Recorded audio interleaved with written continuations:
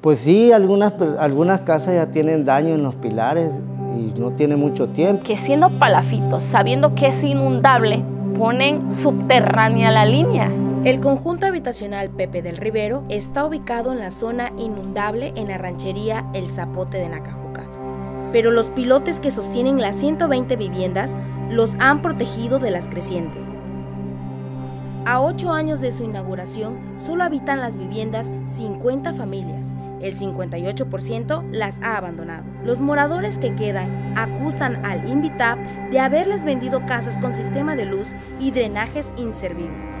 Y el ayuntamiento de Nacajuca de abandonarlos por no querer municipalizar la zona. Y lo que pues sí sirvió, porque no llegó a la parte de arriba, pero obviamente la parte de abajo era la que se tenía pensado que se iba a ir al agua.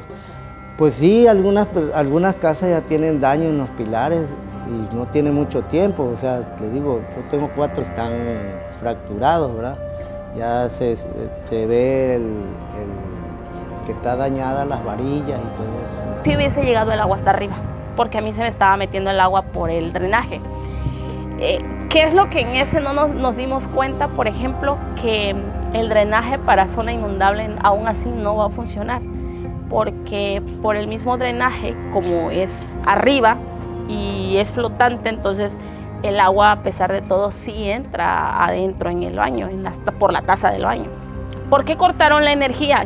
Yo siento que pues unas palafitos no era necesario, pero aquí que es una zona inundable fue una locura que pusieran la línea, pasa por lo que es debajo.